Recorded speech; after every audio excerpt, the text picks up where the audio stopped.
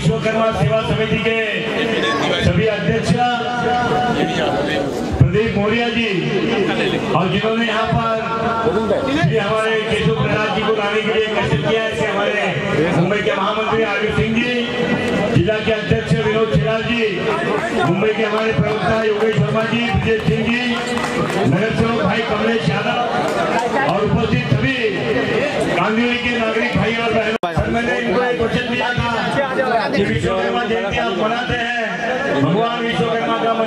के लिए जो आवश्यक मदद होगी हम सरकार की तरफ़ से आप सभी को करेंगे। वो मंदिर को निर्माण करने का जिसने पूरे विश्व का निर्माण किया जिसने द्वारका जैसी नगरी का निर्माण किया वो भगवान विश्वकर्मा जी का मंदिर इसी कानून के बात करता हूँ। उत्तर प्रदेश की जिस भूमि से सर आ रहे हैं केशव प्रसाद मौर्य जी ये योगी आदित्यनाथ जी के नेतृत्व में और प्रधानमंत्री नरेंद्र मोदी जी के नेतृत्व में उत्तर प्रदेश की शकल और सूरत बदलने का काम शुरू है हम सभी यहाँ मुंबई में रहने वाले उत्तर भारतीय सर अपने परिश्रम से अपने कष्ट से अपनी मेहनत से मुंबई शहर में अपनी जगह बनाकर बैठे हैं। छोटा काम करता होगा कोई बड़ा काम करता होगा लेकिन पसीने की कमाई खाने वाला अगर मुंबई शहर में कोई परिश्रमी है तो इन मराठी भाषियों के साथ ये उत्तर के भी इस मुंबई की ज़मीन के ऊपर अपना परिश्रम करते हैं।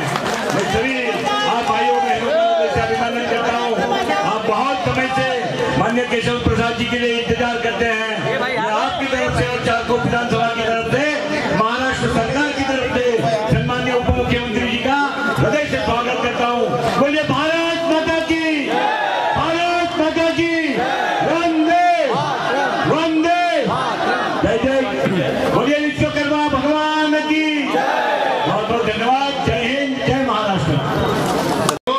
इतना प्यार दुलार करेला आप भाजपा सलेमपुर बलिया देवरिया इतना यहाँ के कार्यक्रम बनवा के सब भैया के, कि सब लोग इतना प्यार दुलार करेला कि आपके नाम सुन के आज पूरा इलाका के लोग आज मुंबई में बा, सब लोग इकट्ठा आज ये अवसर पर हम हमके कहा भगवान विश्वकर्मा जी पूजा करते हैं आधुनिक हमन के आदिकाल के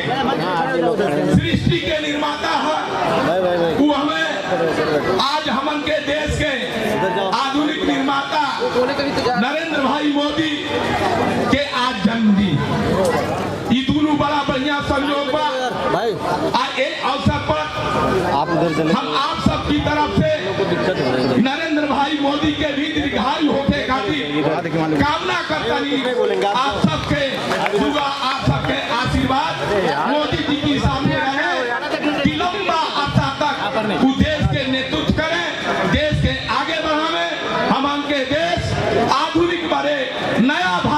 भारत बने जमने के संकल्प। मोदी जी ले ले बढ़े वो संकल्प में रउरा सबके भी योगदान हो जाओ। यही शब्द के साथ आप सबके बहुत बहुत धन्यवाद। जय हिंद जय भारत। आदरणीय उप मुख्यमंत्री माननीय केशव प्रसाद जी मौर्य आपके सामने अपना मनोगत रखते हैं भगवान विश्वकर्मा जी की इतने धीरे से नहीं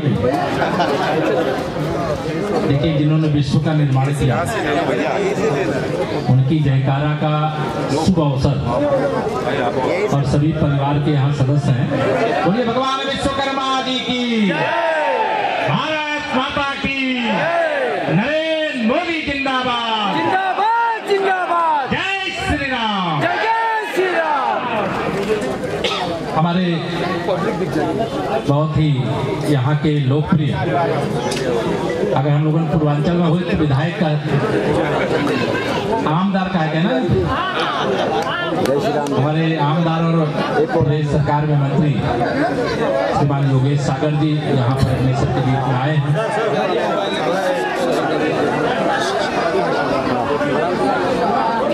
सलेमपुर लोकसभा के सलेमपुर लोकसभा देवरिया और बलिया दोनों को मिलाकर के बना है ना?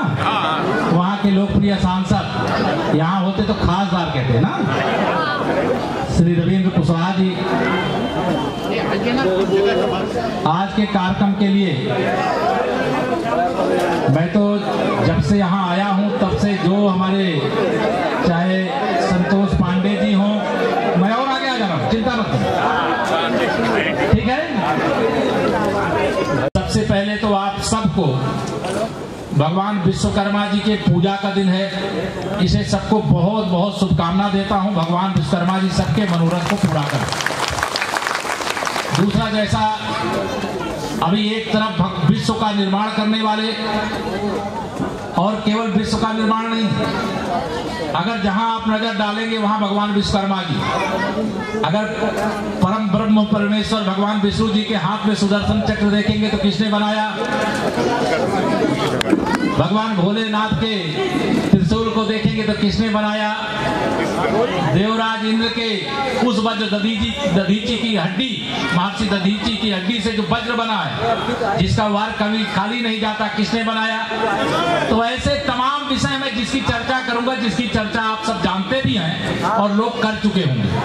ऐसे भगवान विश्वकर्मा जी की पूजा विश्व का निर्माण करने वाले और आज हमारे लिए गर्व का विषय भारत के प्रधानमंत्री,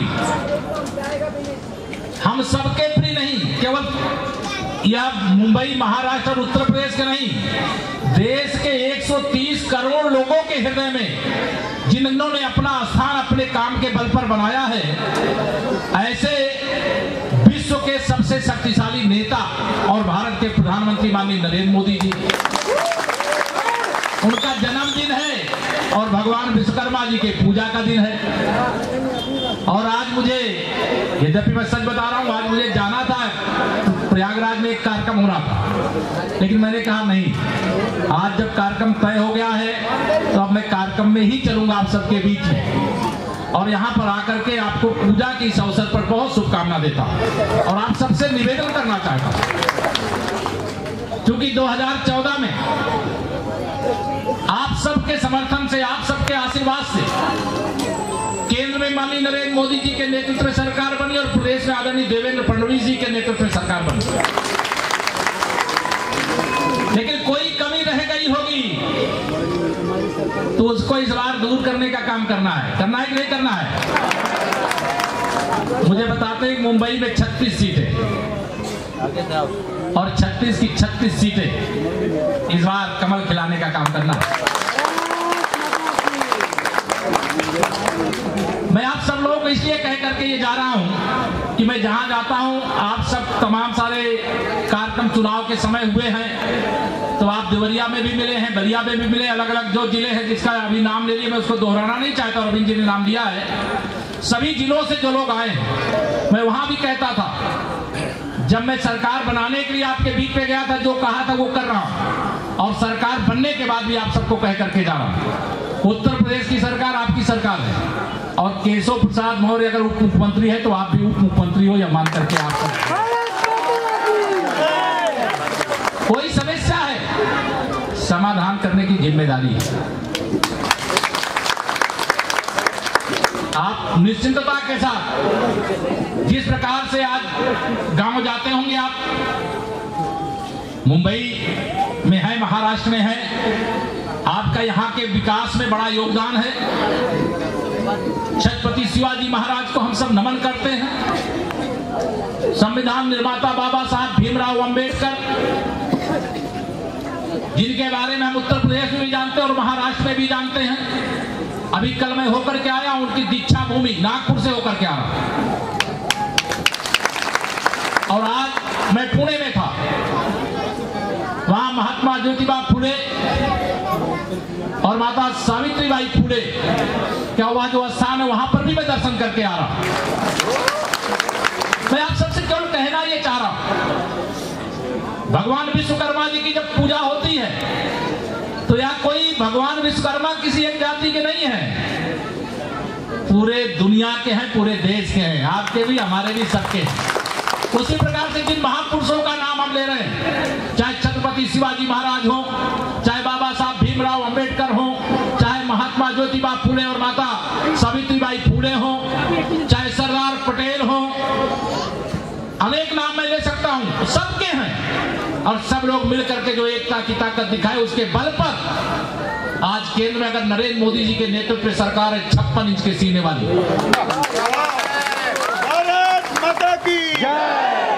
अभी सौ दिन पूरा हुआ है सरकार का मुझसे एक पत्रकार मित्र मेरे साथी पूछ रहे थे सौ दिन के बारे में आप क्या कहना चाहेंगे? मैंने कहा, जो काम सौ साल में कांग्रेस नहीं कर सकती थी, वो सौ दिन के अंदर मेरे मोदी जी ने करके दिखाने का धारा 370 और 35 को हटाने का काम किया। और केवल सीमाओं की रक्षा नहीं की है, उन्होंने वह सब करके दिखाया है, जिसकी लोग कल्पना नहीं कर सकते थे। सर्जिकल स्ट्राइक और एयर स्ट्राइक भी मोदी जी के नेतृत्व वाली सरकार ने हमारे देश की बहादुर फौज ने किया।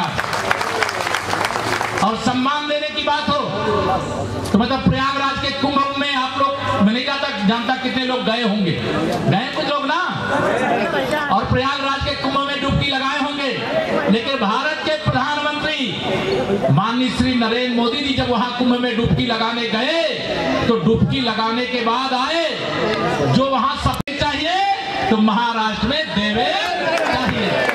इस भाव से आप सबको मैं कहना चाहता हूँ, मैं आप सबको ये सम्मान प्रदान कर रहा हूँ। जो मुझे अधिकार सम्मान मिला है, वह अधिकार और सम्मान मैं आपको समर्पित करते हुए मैं रहूँगा यहाँ, पूरे चुनाव तक रहूँगा। साफ़ प्रभारी बना के उत्तर प्रदेश से भेजा गया हूँ।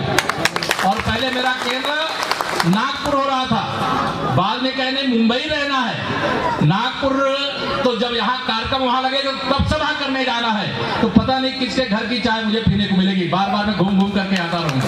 ठीक है? लेकिन एक निवेदन, जो ज़िम्मेदारी मेरी है, वो मेरी नहीं है। मेरी भी है और आपकी भी अगर केशव प्रसाद साहब प्रभारी है तो सारे उत्तर प्रदेश वासी या उत्तर भारतीय अपने को सह प्रभारी मान करके ज़िम्मेदारी निभाने का काम करेंगे।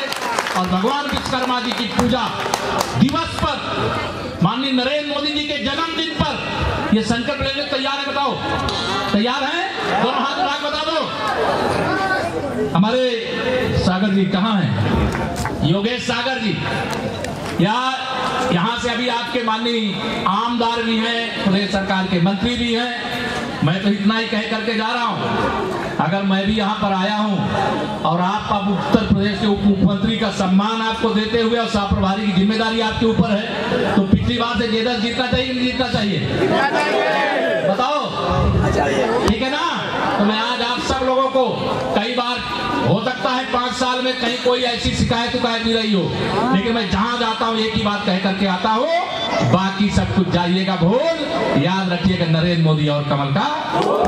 भारत माता की, भगवान विश्व की विश्वकर्मा जी की पूजा का दिवस है 17 सितंबर। भगवान विश्वकर्मा जी की पूजा के दिन और भारत के यशस्वी प्रधानमंत्री और विश्व के विश्व के सबसे शक्तिशाली नेता माननीय नरेंद्र मोदी जी के जन्मदिन पर मैं सभी मुंबई वासी महाराष्ट्र वासी उत्तर प्रदेश वासी और देशवासियों को शुभकामना देता हूँ। और 2019 का चूँकि लोकसभा चुनाव संपन्न हो गया है, महाराष्ट्र का विधानसभा चुनाव होने जा रहा है। और मैं पूरे विश्वास से कह सकता हूँ कि 2014 में जैसे लोकसभा में हमें जितनी सीटें सरकार बनाने के लिए मिली थी लेकिन 2019 का जब लोकसभा चुनाव हुआ तो हमारे नंबर बढ़े हैं। उसी प्रकार से 2019 के विधानसभा चुनाव में केंद्र और प्रदेश सरकार के द्वारा जो मिलकर काम किया गया है उसके कारण महाराष्ट्र में भी भारतीय जनता पार्टी की ताकत अब बढ़ेगी और बड़े बहुमत के साथ हमारी सरकार बनेगी। सर तरह आप महाराष्ट्र के सह प्रभारी बन के आए हैं क्या बाकी ये समझा जाए कि उत्तर भारतीय को वोट पाने के लिए भाजपा कदम उठा रही है? उत्तर भारतीय तो भाजपा के साथ है ही और वो भाजपा के सिवा कहीं और इधर उधर नहीं देख रहा है।